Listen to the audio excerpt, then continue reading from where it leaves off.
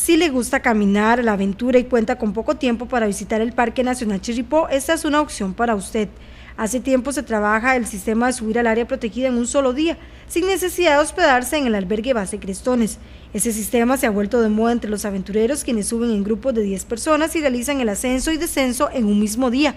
La mayoría sale a eso de las 12 medianoche, con el objetivo de que les alcance el tiempo. Entonces es una opción que siempre ha estado habilitada, lo que pasa es que no era tan común como se ha hecho en estos momentos. Últimamente las personas han estado haciendo mucho ejercicio, mucha actividad deportiva, entonces ese reto que está saliendo ahora de subir y bajar en un día se ha estado haciendo muy común. Entonces es una opción que siempre está hábil ahí para subir en un día, no precisamente hasta el Cerro Chirripó, sino es un recorrido que usted puede hacer en su parque. Si usted tiene la condición física para poder hacer hasta el Cerro Chirripó, perfecto. Si no, es una caminata de 7, 8 kilómetros en la parte del bosque, observación de aves, y en ese tipo de cosas también la puede realizar sin ningún inconveniente. Entonces puede regresar también el mismo día.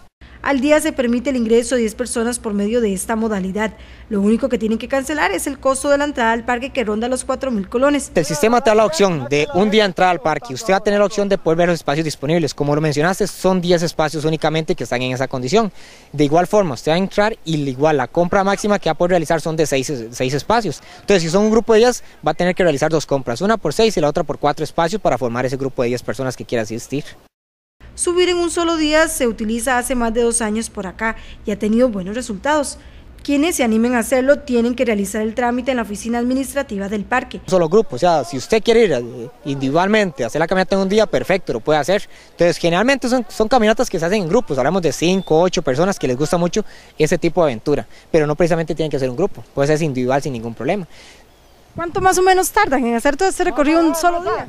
Esa aventura normalmente anda entre 12, 13 horas entre subir y regresar. Esa aventura que toman las personas, llegando hasta la, hasta la cumbre del Chirripó propiamente. Es una caminata que ellos sí, la mayoría la inicia a medianoche, porque sí es el esfuerzo físico, entonces es fuerte, entonces hay que salir temprano para poder que tanto el tiempo como el cansancio le dé a uno durante todo el día.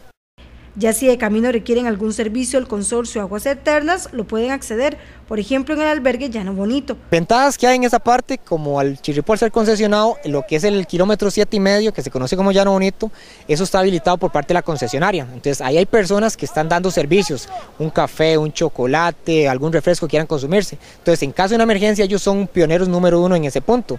Al igual que el tema de lo que son los porteadores, como ellos están subiendo dejar carga y traer carga, es un trayecto que mientras las personas están circulando dentro del parque, ellos también van a estar bajando. Entonces, en caso de una emergencia, ellos también son eh, parte indispensable para lo que es el apoyo en caso de una emergencia.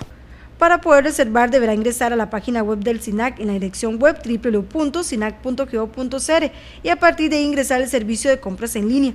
Si usted desea visitar el Parque Nacional Chirripó, puede realizar sus consultas llamando al 900 Chirripó o bien 905-244-7747.